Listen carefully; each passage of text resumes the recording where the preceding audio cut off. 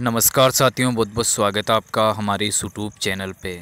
दोस्तों, आज के इस वीडियो के अंदर हम आपके कुछ ऐसे सवाल है जो अक्सर पूछे जाते हैं, दो से तीन ऐसे सवाल है जो अक्सर पूछे जाते हैं।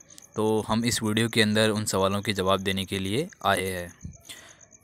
जैसे कि यहाँ पर, क्या बीएससी वाले एमए का फॉर्म अप्लाई कर सकते हैं। दोस्तों, ये जो सवाल है, ये काफ़ी सारे लोग पूछते हैं कि यदि हम बीएससी बैकग्राउंड से है तो क्या हम एमए के लिए अप्लाई कर सकते हैं? तो दोस्तों, यहाँ पर मैं आपको बता दूँ कि आप एमए के लिए अप्लाई कर सकते हो। ये जो आपका डाउट है, मैं यहीं पे जो है क्लियर कर देता हूँ। यदि आप बीएससी बैकग्राउंड से हो तो आप एमए के लिए अप्लाई कर सकते हो। एमए का जो एंट्रेंस है, वो आप यहाँ पर दे सकते हो। एक टाइम में है, जो है जे तीन सब्जेक्ट से जो है आप एंट्रेंस दे सकते हो।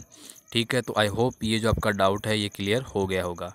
उसके बाद चलिए आगे बढ़ते हैं। तो यहाँ पर हम देखते हैं कि क्या जेएनयू के अंदर बीएससी एंड बीकॉम है। तो दोस्तों, ये भी डाउट क्लियर कर देता हूँ कि जेएनयू के अंदर बीएससी एंड बीकॉम नहीं है। जेएनयू के अंदर जो है फॉरेन लैंग्वेज पढ़ाई जाती है। यहाँ पर जो है बीए हुनर्स आप यहाँ से कर सकते हो। क्लस्टर वाइज यहाँ पर जो लैंग्वेज है, जो फ़ॉरन लैंग्वेज है, उन्हें डिवाइड किया गया है। तो यहाँ से जो है आप फ़ॉरन लैंग्वेज कर सकते हो।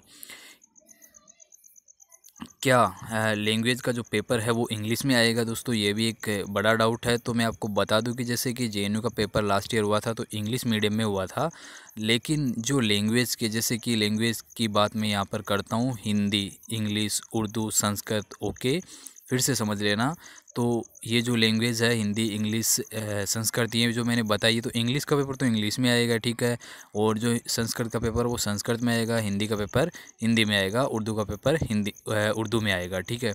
तो इस तरह से लैंग्वेज के जो पेपर वो अपनी लैंग्वेज में आएँगे। बाकी जो पेपर होंगे, वो आपके इंग्लिश मीडियम में आएँगे।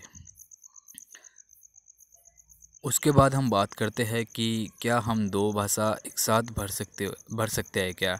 ठीक है तो यहाँ पर देखिए, जब हम जे का फॉर्म फिल करते हैं तो उस समय हम जो है तीन सब्जेक्ट नॉर्मली फिल कर सकते हैं। यदि आपको देना हो तीन सब्जेक्ट से तो आप भर सकते हो, ठीक है? बाकी यदि आपको जो है एम मान लीजिए कि हिस्ट्री से करना है तो आप हिस्ट्री का ही फॉर्म जो है लगाइए नॉर्मली ठीक है?